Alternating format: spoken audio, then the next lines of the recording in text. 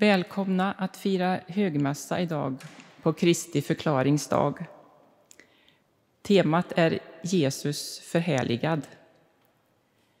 Idag följer vi första årgångens textläsningar och de finns på sidan 1487 i psalmboken. Kollekten idag är en rikskollekt som går till Svenska kyrkan i utlandet. Och jag ska läsa några ord här om, ifrån USA, Los Angeles.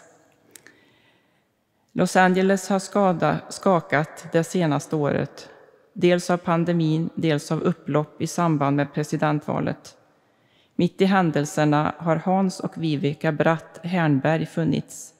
De arbetar som präst respektive assistent med diakonal inriktning. När det skakar i samhället blir kyrkan ett ljus i mörkret. Jag är tacksam för att vi har kunnat finnas här och vara till välsignelse för folk i dessa situationer. Det är fint att kunna ge lite hopp till människor genom förbön, säger Viveka. Hans och Viveka har träffat flera ungdomar som råkat illa ut. Det kan röra sig om allt från övergrepp till psykoser. Vid några tillfällen har de lyckats hjälpa dem att ta sig hem och haft kontakt med deras föräldrar. Många föräldrar blir väldigt tacksamma. Vi har träffat på dem som tidigare gått ur Svenska kyrkan och går med igen, berättar Hans. Och kollekten den kan swishas eller läggas i en korg vid utgången. För att fira gudstjänst på ett coronasäkert sätt så ska vi tänka på att hålla fysiskt avstånd mellan varandra när vi går fram till nattvarden och när vi går härifrån efter mässans slut. Då kan man även använda sidoutgångarna. Och eh, psalmboken kan ni lämna kvar i bänken efter mässan också. Eh, vi firar mässa, ja, det innebär att vi har nattvard. Men på grund av rådande läge så delar vi bara ut brödet idag. Och det är, eh, bröden är glutenfria. Gud, vi samlas i ditt namn och ber om ditt stöd. Visa oss vägar som leder till liv. I Jesu namn. Amen. Låt oss nu lyssna till klockringningen.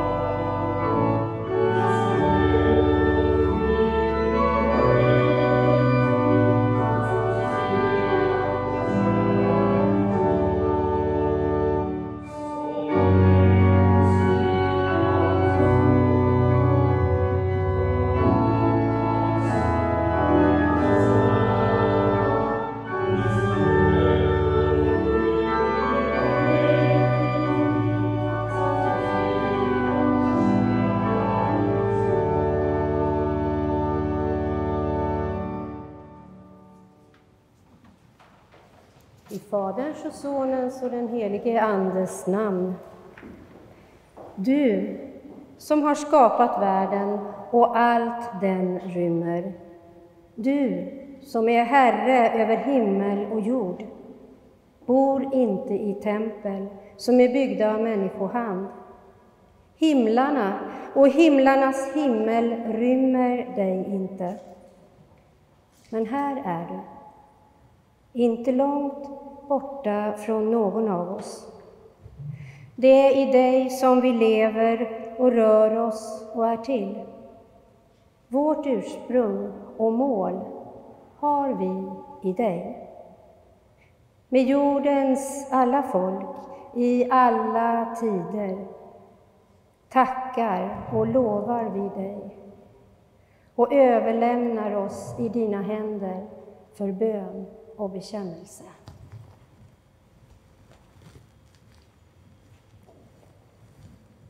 Jesus Kristus, jag kommer till dig i längtan efter upprättelse. Jag har brustit i kärlek till dig, till skapelsen, till mina medmänniskor och mig själv. Förlåt mig, möt mig enligt ditt löfte och ta emot alla som söker dig.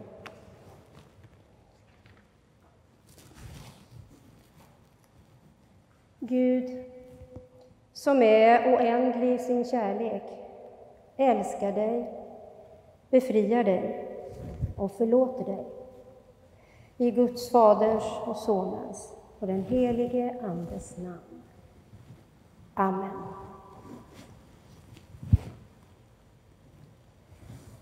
Gud, vår Fader, tack för att vägen till dig alltid är öppen genom Jesus Kristus. Hjälp oss att leva i din förlåtelse. Stärk vår tro, öka vårt hopp och uppliva vår kärlek. Amen.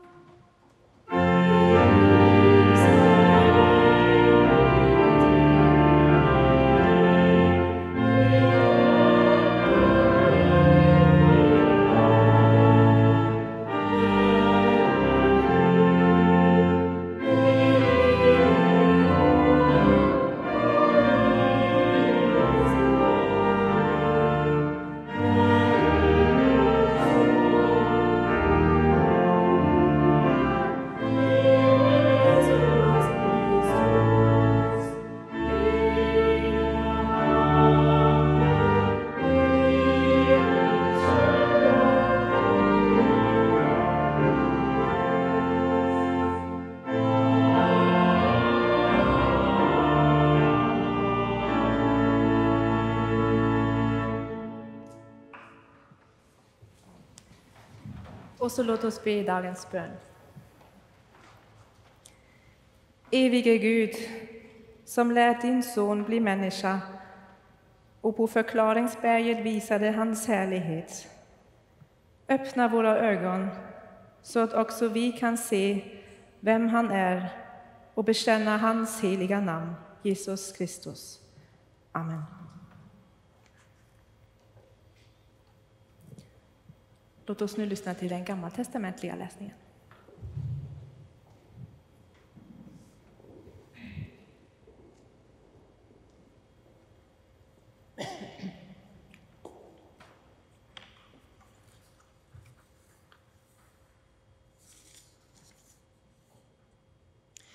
Mose ledde Israels folk genom öknen, från slaveriet i Egypten till Kanans land, som Gud hade lovat dem.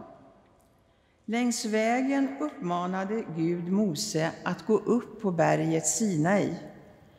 Vi läser vad som hände där i Andra Mosebok kapitel 24, verserna 12 till 18. Herren sa till Mose, gå upp till mig på berget och stanna där, så ska jag ge dig stentavlorna och lagen och buden som jag skrivit för att undervisa folket. Mose gav sig av tillsammans med sin tjänare Josua och gick upp på Guds berg.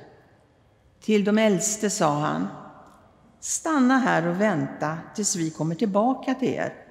Aron och Hur är ju kvar hos,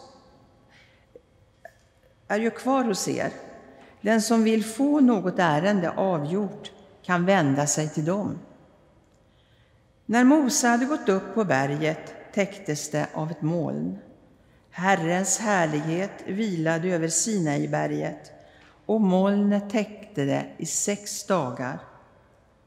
Den sjunde dagen ropade han till Mose ur molnet och israeliterna såg Herrens härlighet som en förtärande eld på toppen av berget. Mose gick in i molnet och upp på berget och stannade där i 40 dagar och 40 nätter. Så lyder Herrens ord. Gud, vi tackar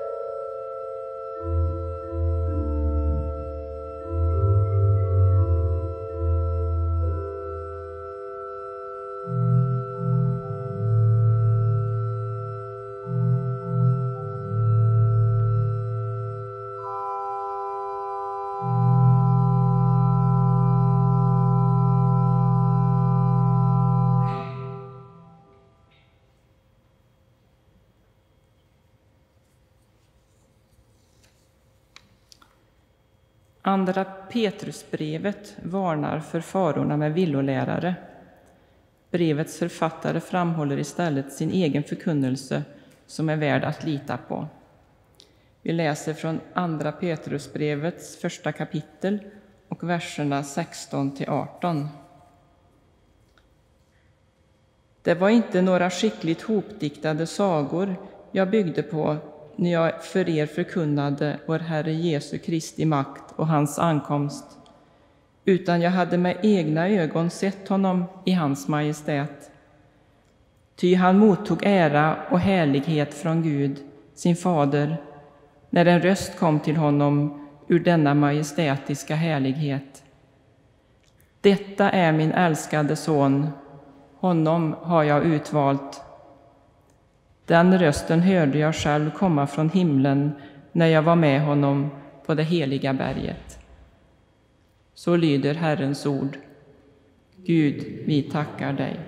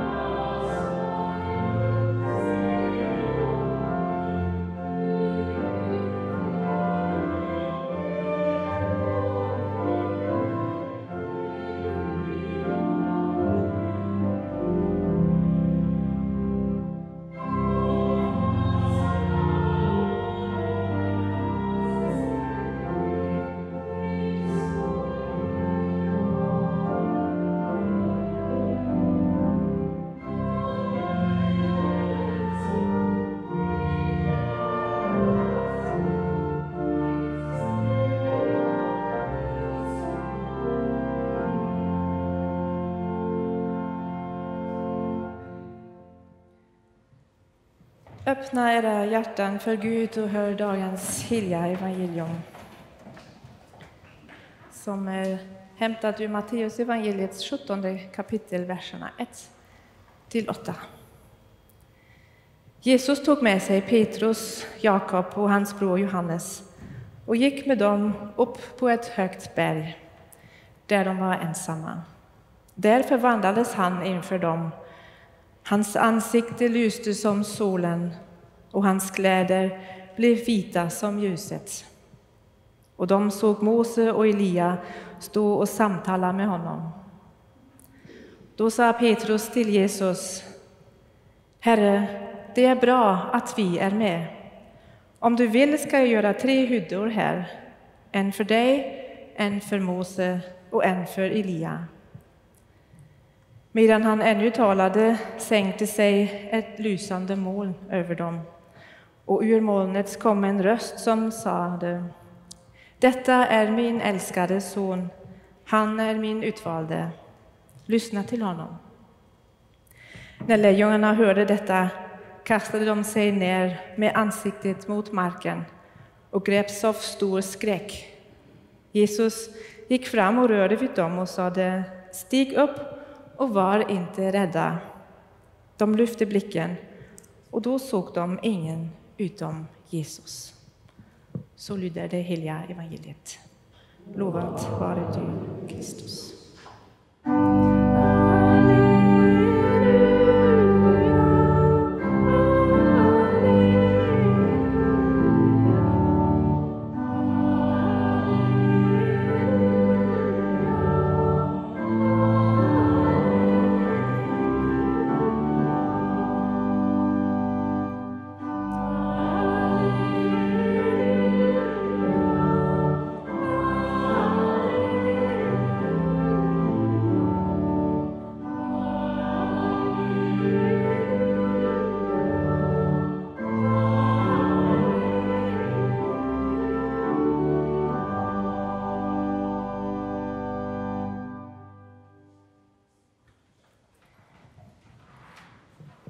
Evangelietexten idag det är ju en av de få bibeltexterna där vi kan ana en glimt av hur det kan se ut i Guds rike.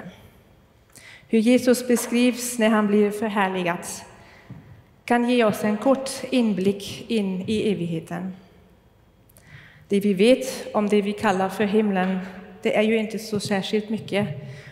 Och var och en av oss har nog sina egna föreställningar och förhoppningar.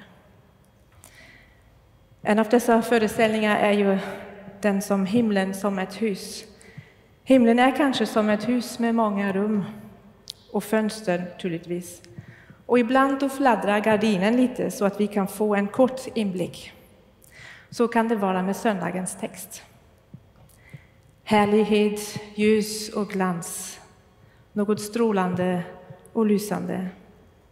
Det kan vara en bild för vår förhoppning om hur det är att vara nära Gud. Och lärjungarna kände säkert att det hände något stort, att en sån förvandling bara sker när Gud själv träder fram. Förklaringen till att en sådan förklaring kan ske kan ju egentligen bara vara den att Gud själv med all sin härlighet, sin glans och skönhet uppfyller Jesus. En bekräftelse att Jesus är sann människa och sann Gud.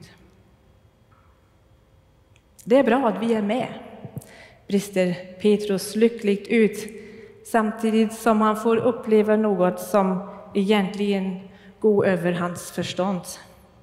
Det är ju lite paradox att han ändå är så lyckligt. Efter en lång bergvandring upp mot bergets topp lyser Jesus helt plötsligt som en sol och pratar med två män som egentligen hade dött för länge sedan. Varför säger Petrus just dessa ord? Det är bra att vi är med. Eller enligt en annan översättning, det är bra att vi är här. Vi det är han och sina lärjungekollegor Johannes och Jakobus. Jag undrar om han kanske hade under vägen upp för berget funderat på om det verkligen var en bra idé att gå upp så tidigt på morgonen och ta en bergstur. Ville han kanske vara någon annanstans istället?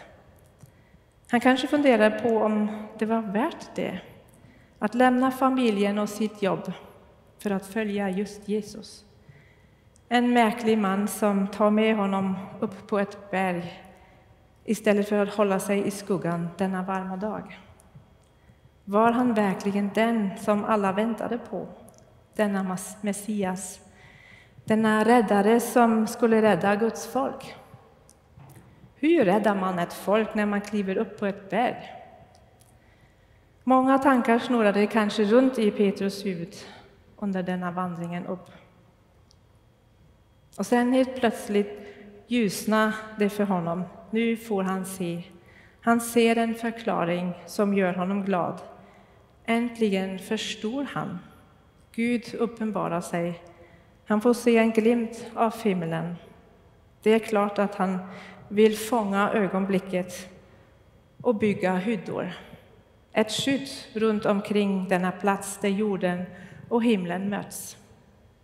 Han vill bevara höjdpunkten i sitt liv, uppe på bergets topp, där allt tvivel helt plötsligt är bortblåst och där han får vara i närheten av Guds strålande glans. Det vill han hålla kvar. Jag har tänkt mycket på detta med att vi gärna vill bygga ett skydd kring våra egna nyvunna förklaringar och våra högtider i våra liv. Det är kanske just därför jag tar så otroligt många kort på allt. Kort på familjen, på semester blir det säkert en hel del igen. Man vill ju liksom fånga ögonblicket för att senare kunna minnas känslan eller uppleva det man varit med om igen. Det finns eh, ett fint ställe i Ronja Rövardotter också. Hon säger att hon suger in så mycket av sommaren så att hon kan leva både under hösten och vintern också. Eller så vill jag kanske hålla fast vid dessa låga siffror som vi har just nu när det gäller smittspridningen. Vi har jobbat hårt för detta senaste ett och ett halvt år. Så långt har vi kommit nu. Vi har fått vaccin och det är ganska många som redan är vaccinerade. Kurvan har gått neråt och vi får lättnader. Och detta vill jag ha kvar till varje pris. Tänk om det gick att bygga en hydda kring detta. Och detta vill Petrus också göra. Han vill ha kvar Jesus, Mose och Elia. Egentligen en paradox att de är där samtidigt, som sagt. För Elia och Mose är ju redan döda. Men Petrus förstår direkt vad de står för. För honom finns det en förklaring i den judiska traditionen.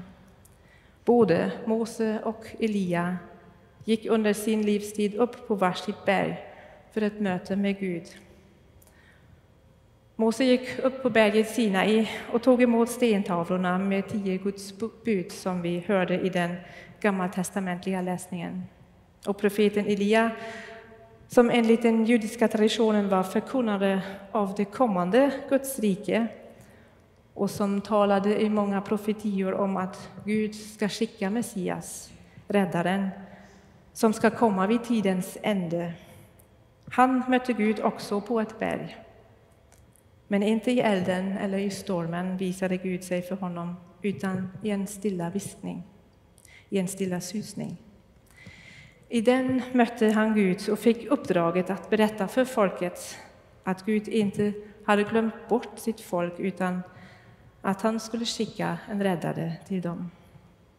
Mose och Elia, tecken på det som var och det som ska komma. Och mitt ibland dem stod Jesus. Mose och Elia bekräftar på detta berg att Jesus är världens ljus. Och det är vid denna osyn som Petrus förstår. Det är då han får sina svar på frågorna som han hade med sig på vägen upp för berget. Gud visar sig i Jesus. Men där stannar ju inte berättelsen, utan mitt i hans tankar om hur han skulle kunna bygga hyddorna hörs det en röst som kommer från ett lysande moln. Och det blir till slut för mycket för Petrus, Johannes och Jakobus. Den tidigare synen hade egentligen redan gått över deras förstånd, men nu blir de skräckslagna. Inte nog med synen, nu hör de Guds röst också. Det går inte att hålla sig på benen längre. De hamnar med ansiktet på marken. Och de ligger där tills Jesus rör vid dem och löser dem ur sin förlamande skräck. Vad är det för berättelse egentligen? Berättelsen tar med oss upp på en vandring till förklaringsberget. Med alla våra frågor och all vårt tvivel. Med all vår längtan efter att så som Mose, Elia och lärjungarna också få kunna komma Gud nära. Med all vårt hopp om att äntligen få veta vad det är för meningen med vårt liv. Berättelsen bär med sig några svar på våra frågor om vad vi ska göra och om vem som ska trösta oss och ta oss på allvar i all vår oro och vanmakt. Vems röst som vi ska lyssna till bland alla dessa olika röster som dagligen stormar runt omkring oss. Detta är min älskade son, lyssna på honom, säger rösten. Härlighet, ljus och glans, något strålande och lysande. Det kan vara en bild för vår förhoppning om hur det är att vara nära Gud. Och ovanpå en röst som inte donar eller skriker utan kommer som en stilla susning och viskar Du är mitt älskade barn. Det är bra att vi är här, sa Petrus tidigare. Och det är bra att vi alla är med. Att vi är med här i domkyrkan eller hemma vid tvn. Det är bra att vi är med. Det är bra att vi är med, att vi får komma upp till bergets topp någon gång och få vara med om ljus och glans för att fyllas på med ny kraft och tillit för tiden som kommer efter. Tiden där vi inser att det inte går att bygga en hydda kring det härliga. Det är bra att vi leds upp för berget ibland och får ett nytt perspektiv. Lik Moses som efter mötet med Gud kommer ner från berget med ett glänsande ansikte och strålande träda fram för folket för att presentera tio Guds bud. Det är bra att vi får vara med lärjungarna någon gång för att få se Jesus som lärjungarna gjorde, med ett strålande ansikte som lyser som solen, med kläder som blev vita av ljuset, precis som ängelns vita kläder vid den tomma graven efter uppståndelsen. Och det är bra att få höra rösten ur det lysande moln, precis som vid Jesu dop, som säger Du är mitt älskade barn, du är min utvalde. Tidigare undrade jag vad det var för en berättelse som får med oss upp på berget. Och det jag vill komma fram till nu är att det är en berättelse om julafton och påskdagen samtidigt. Berättelsens ena budskap är att Gud blev människa i Jesus Kristus och lever mitt ibland oss. Julens budskap. Sen har vi Mose och Elia, tecken för det som var före och det som ska komma. Guds förbund med sitt folk och löftet om en ny himmel och en ny jord som uppenbarar sig i Jesus strålande, såsom på påskdagen. Och sen det andra budskapet som finns i denna lilla beröring mot slutet av berättelsen. Jesus rör vid lärjungarna som ligger skräckslagna och livlösa och som döda på marken. Här ser jag också påskens budskap. Jesus berör också var och en av oss genom sin död och sin uppståndelse. Han befriar oss från dödens förlamande makt från döden till livet igen. På förklaringsberget strålar Guds härlighet in i vår värld. Men vi kan som sagt inte hålla fast härligheten och bygga hyddor kring den. Vi måste gå ner igen. Efter varje högtid blir det vardag igen. Och det är ju bra så, för utan vardag kan det inte finnas högtider. Vårt liv, lever, vårt liv lever vi inte på bergets topp, utan nere i vardagen. Men vi behöver komma upp då och då för att få en överblick eller ett nytt perspektiv. Påfylld av ljus och glans kan vi med ny kraft leva vår vardag och bära med oss strålglansen en bit på vägen. Det krävs ju inte en bergvandring varje gång för att få se en glimt av Guds härlighet.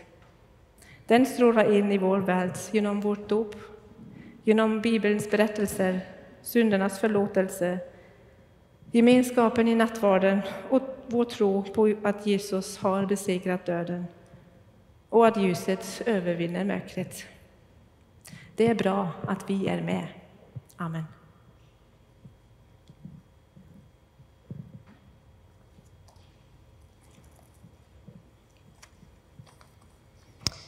Låt oss så stå upp och, och stämma in i kyrkans bekännelse. Vi tror på Gud Fader allsmäktig, himmelens och jordens skapare.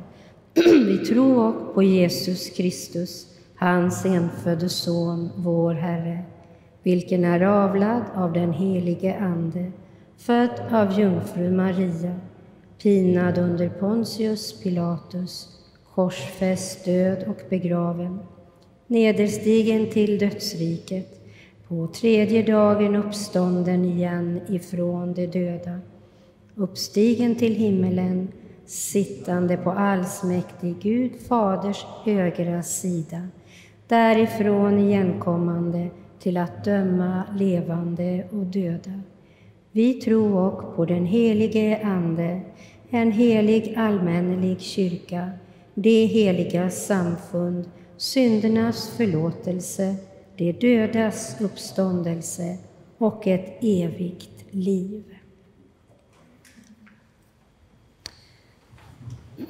Nu ska vi tillsammans sjunga igen och det är psalm 38 och det är det andra det alternativ B som vi sjunger.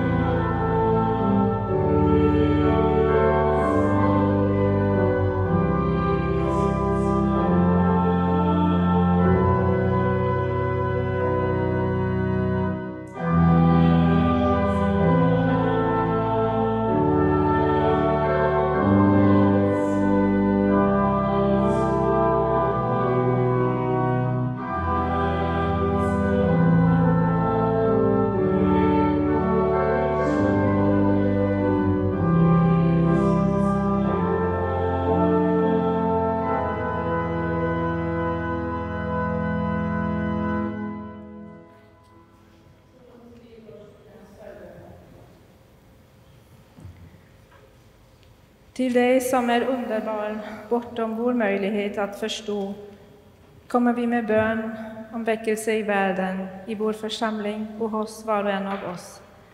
Tack för att du hör vår bön och möter oss med kärlek. Gud, genom Jesus ber du människor att resa sig upp och inte vara rädda. Bevara oss för rädslan för varandra, för det som varit och för det som kommer. Tack för att du älskar och tar emot oss. Befria din värld till ett liv i din härlighet, här på jorden, i tro och en dag synligt i din himmel.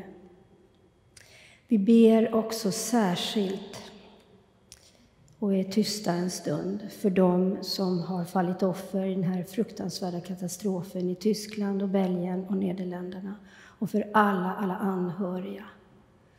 Herre, var med dem i det de nu behöver gå igenom.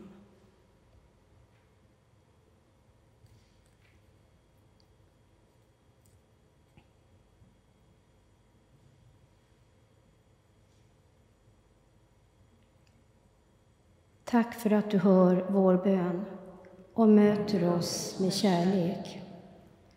Ljusets Gud, hjälp kyrkan och församlingen att vara spegelbilder av allt gott och vackert och härligt som finns hos dig.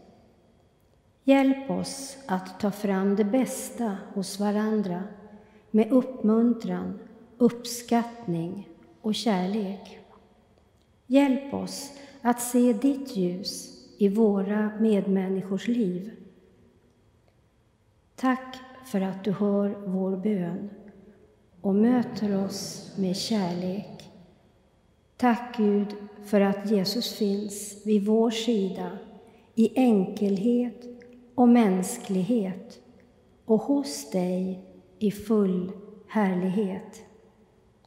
Hjälp oss att lyfta blicken från vårt eget och se på Jesus och ta emot härligheten han vill ge oss. Tack för att du hör vår bön och möter oss med kärlek.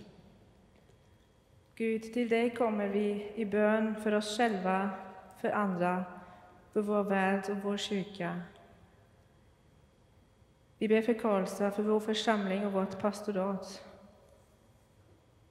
Vi ber för dem som döpts i vår församling, för Elsa, Vera, Selma, Berg, Leo och Ted. Låt dem växa i tro, välsigna och bevara dem och deras familjer nu och alltid. Gud, tack för kärleken och gemenskapen mellan människor. Idag ber vi för Anna och Mikael som har ingått äktenskap. Bevara dem i din nåd och kärlek och välsigna deras liv tillsammans. Vi blir stilla i tacksamt minne över dem som i vårt pastorat tagits ifrån oss. Bertil Sölve Andersson i en ålder av 82 år, 9 månader och 17 dagar. Karin Olivia Brunström i en ålder av 95 år, 7 månader och 22 dagar. David Gustafsson i en ålder av 95 år, 6 månader och 11 dagar. Irene Margareta Gustafsson i en ålder av 85 år, 1 månad och 22 dagar. Anna-Lise Johansson i en ålder av 90 år, 3 månader och 15 dagar och Maggie Sofia Nilsson i en ålder av 102 år och 16 dagar. Och Margareta Lilja Nilsson i en ålder av 72 år, en månad och 17 dagar. Margit Alice Olsson i en ålder av 89 år, 10 månader och 17 dagar. Siv Ingrid Olsson i en ålder av 88 år, fem månader och en dag. Lena Anna-Greta Olsson i en ålder av 76 år och sex dagar. Och Leif Torbjörn Persson i en ålder av 78 år och 24 dagar. Tack för allt de fått vara, betyda och ge. Låt ditt eviga ljus lysa för dem.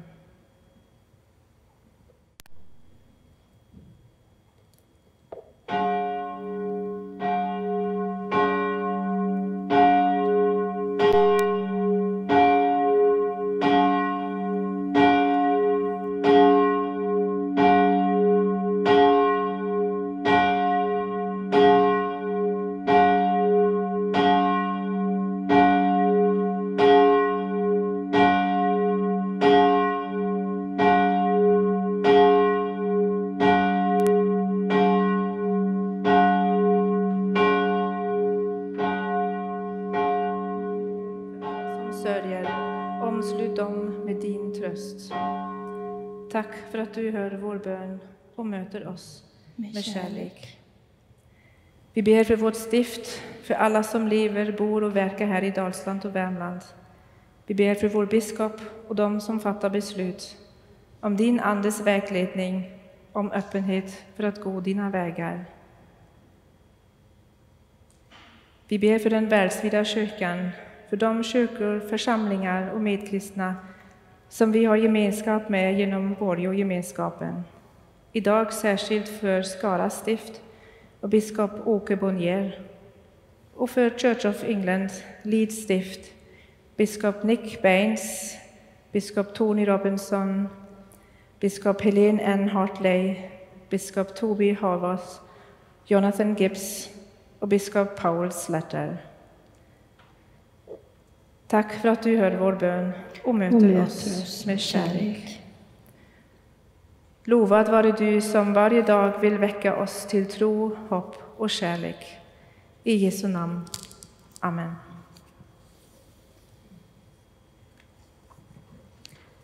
Vi sjunger psalm 399.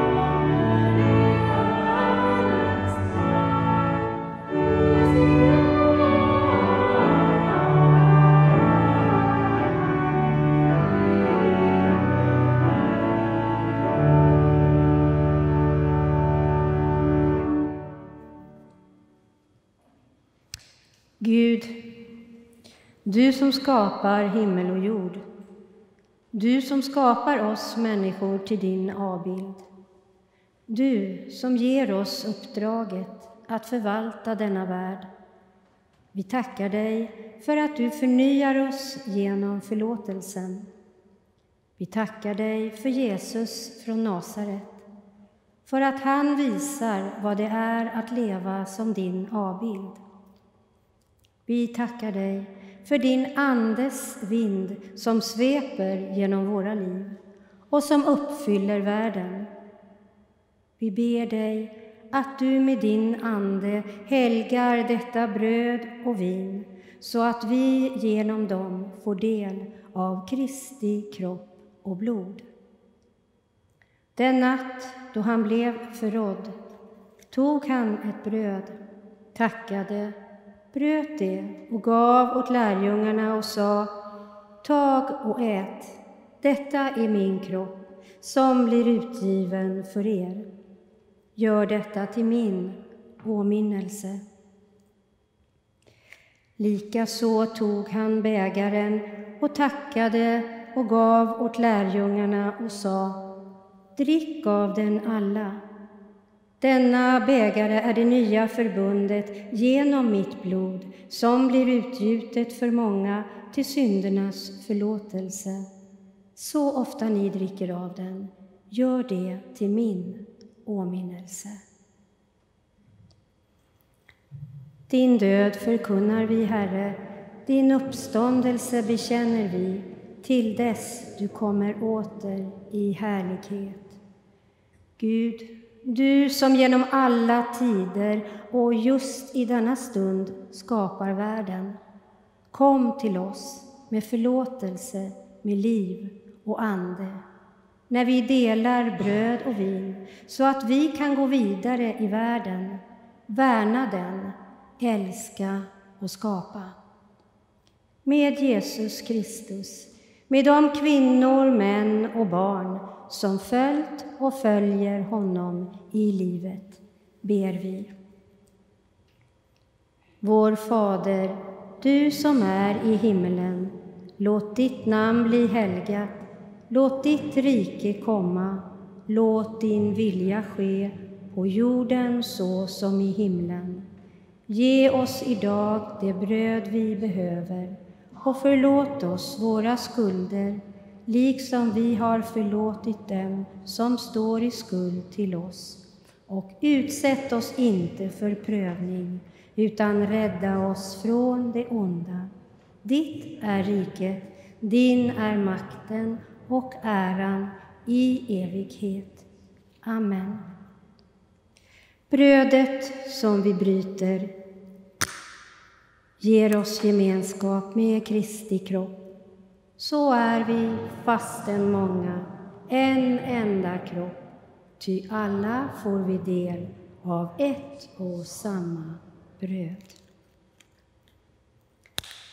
Herrens frid vare med er. Och vi, får, vi kanske inte ska ta varandra i hand ännu, men vi kan väl på något sätt göra varandra uppmärksamma om varandra med en hälsning.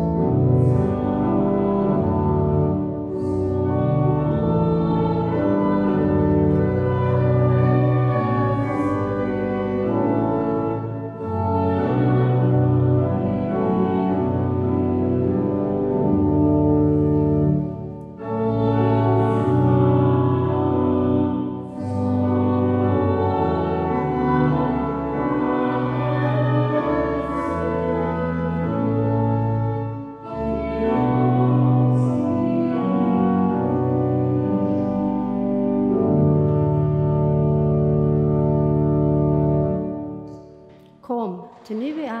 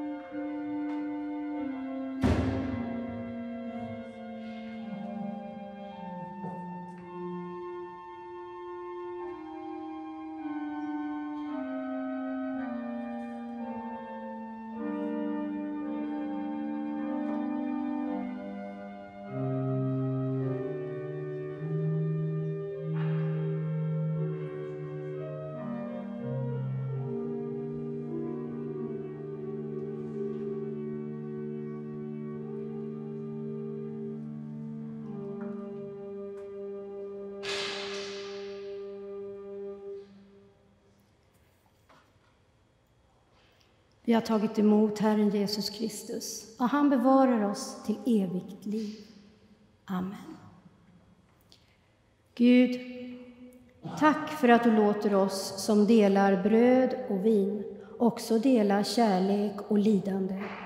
Hjälp oss vara ett svar på din kärlek som du uppenbarar i Kristus, nu och alltid. Amen.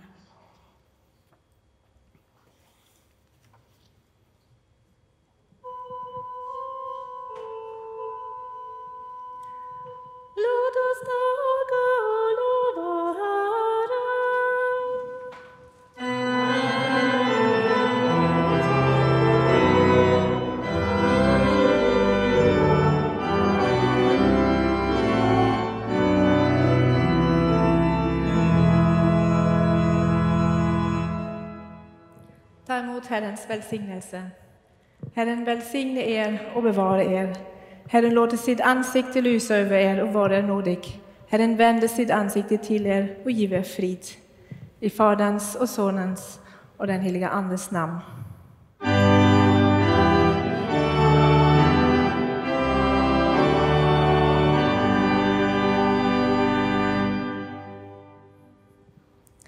Vi sjunger psalm 702.